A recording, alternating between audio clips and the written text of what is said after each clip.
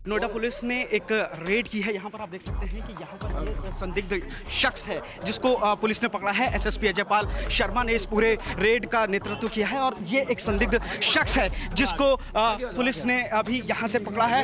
बताया जा रहा है कि इसके कब्जे से कुछ हथियार भी मिले हैं। एक बड़े मामलों का आरोपी है वांटेड क्रिमिनल है। अभी ये साफ़ नहीं हो पाया कि कौन है। वांटेड क्रिमिनल है, जिसको लेकर के ये यहाँ पर नोएडा के इस इलाके में छुपा हुआ था। पुलिस को खबर मिली थी और उसके बाद नोएडा पुलिस ने यहाँ पर रेड की है किराए के कमरे में यहाँ पर रह रहा था और अभी आप देख सकते हैं कि पुलिस अपनी कस्टडी में इस शख्स को लेकर के, जो संदिग्ध शख्स है, इसको लेकर के यहाँ से जा रही है। आप देख सकते हैं कि यहाँ पर जो शख्स है, उसको पुलिस ने पकड़ा है। ये एक नरसंहार का आरोपी है। बिहार में हुए नरसंहार का ये आरोपी है। पचास हज़ार रुपए का इनामी बदमाश है। कई मामलों में वांटेड था। बिहार सरकार ने पचास हज़ार रुपए का इनाम रखा था। काफ़ी समय से नोएडा में छुप रहा था। नोएडा पुलिस के हाथ ये बड़ी कामयाबी लगी है। सरकार ने इसकी तरफ़ से इनाम रखा था। पुलिस फ़िलहाल इसके पूरे नेटवर्क को खंगाल रही है। इसके कब्जे से कुछ हथियार भी बरामद हुए हैं। ये सुधीर नाम का एक संदिग्ध व्यक्ति था, जिसकी सूचना हमारे पास मिली थी कि नक्सली गतिविधियाँ बिहार से संबंधित